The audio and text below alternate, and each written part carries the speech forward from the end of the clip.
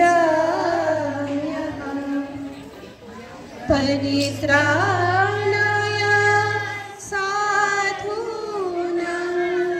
विनाशाय च दूषितां धर्मसंस्थापनार्थाय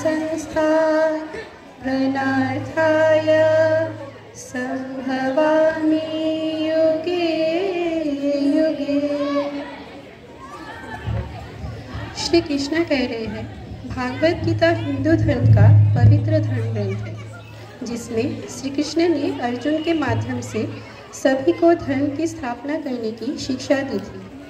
महाभारत का युद्ध से संपूर्ण भारतवर्ष जुड़ा हुआ था, इसलिए इस युद्ध का नाम महाभारत पड़ा कई अज्ञानी मनुष्यों को मानना है कि अर्जुन ने युद्ध में अपना सब कुछ खो दिया वास्तव में अर्जुन ने धर्म की स्थापना कर कृष्ण को पा लिया था, तथा समस्त संसार के लिए भागवत गीता जैसी धर्म पुस्तक बनाई, जिसमें जीवन की हर समस्या का समाधान है।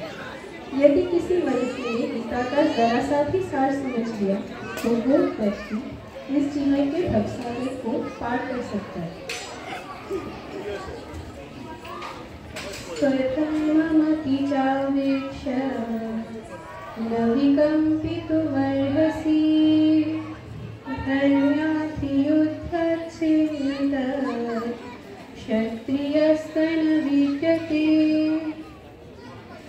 श्री कृष्ण अर्जुन को याद दिलाते हैं, अपने धन को देखकर भय नहीं करना चाहिए, क्योंकि सभी वर्णों के लिए धर्मयुक्त योग से बढ़कर दूसरा कोई कल्याणकारी कर्तव्य नहीं है।